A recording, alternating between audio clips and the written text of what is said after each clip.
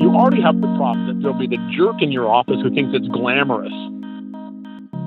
Hey everyone, John here from the Cast and Spear podcast. We have back on the show Steve Wozniak, the number four world record holder, according to IGFA, and he's going to dive into how he's able to travel and fish so much with a nine to five job.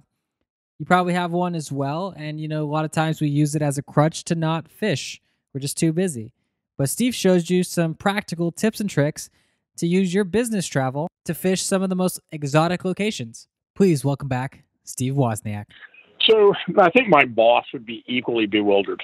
Um, this is one of these things that um, probably the first piece of advice I would give to anybody on this is be very low key.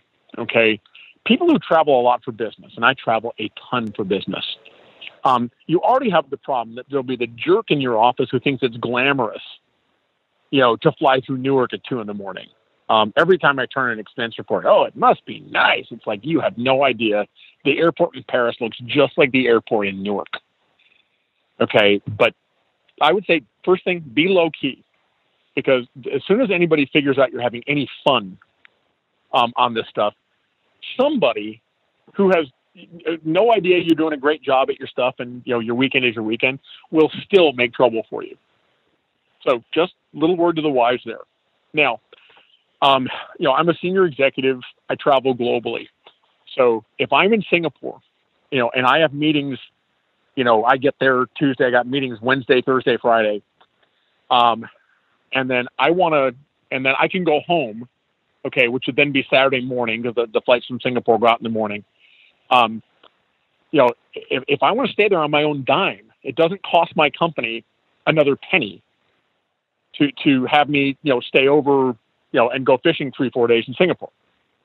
Um, as a matter of fact, it can actually save money because um, if I flew in on a Tuesday and out on a Saturday morning, that ticket's going to be a whole lot more than if I flew in on a Tuesday and flew out on a Sunday. It's when you stay over a Saturday night, the tickets get cheaper, which your company will appreciate. Um, so, you know, that time's my own. I take a day or two of vacation. And so a place like Singapore is a great springboard because say I want to take that same couple days of vacation, nothing stops me from going to the Maldives. Nothing stops me from going to Thailand, uh, Brunei. Okay, places along those lines. So I've springboarded a lot of business travel, and then the other thing business travel does is gives you miles. And so you know I have a hundred zillion frequent flyer miles, so I can use those to uh, uh, to fly places. But I say you know you, you've got to figure out kind of what the environment is, you know, what your your company, you know, is okay with and not okay with.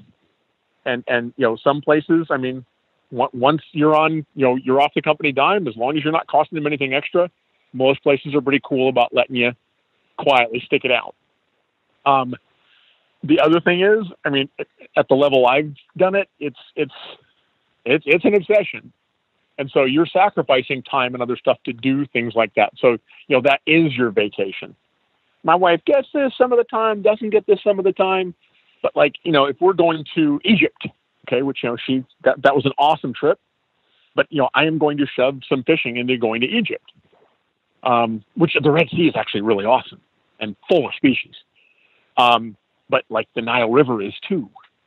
Uh, Aswan Dam was a little disappointing. I think they've killed most of those big Nile perch. But, you know, that's the, the long and the short of it is, you know, you've got to judge where you are, you know, in, in terms of your boss and your, and, and the culture of your company and, you know, see what you can squeeze in and, you know, being a great performer, you know, being somebody that's recognized as doing a good job at stuff and that they want you doing this stuff can usually smooth that pathway a bit.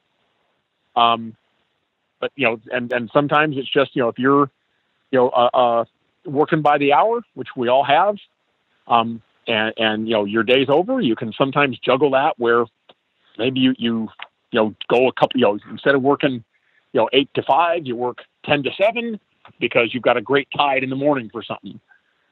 Um, and it's just always being cognizant of that. So I don't know if that's much advice, but that's that's how I've managed so far. Well, I hope you enjoyed that episode of the podcast. I hope you're now able to utilize your business travel and vacations more effectively when it comes to fishing. And if you have any other tips that weren't mentioned by Steve, let me know. Go to castspear.com forward slash contact, and I'll definitely share it with the rest of you guys. If you haven't already done so, please subscribe to the podcast so you never miss a future episode. And share this with three of your fishing buddies. Yep, just word of mouth is great. Just tell them, hey, listen to this podcast. That would help us grow this thing to be the best fishing podcast on the web. And if you want to sign up for our newsletter, just go to castandspear.com and enter your email in the pop up. This will make sure that you get all the latest articles, videos, and anything else we make straight to your inbox once a week. All right, with that, keep those lines tight, everyone. See ya.